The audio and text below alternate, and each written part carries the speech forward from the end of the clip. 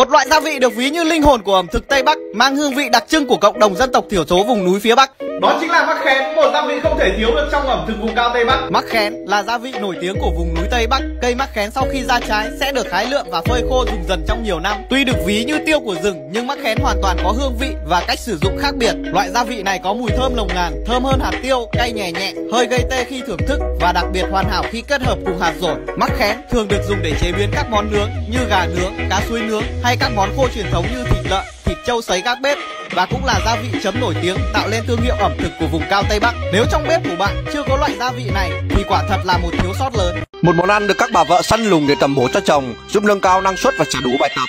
Món ăn giúp cho cánh mày râu như hổ mọc thêm cánh, dẻo dai hơn trong chuyện chăn gối. Đó chính là ngọc kê hay còn gọi là rái gà.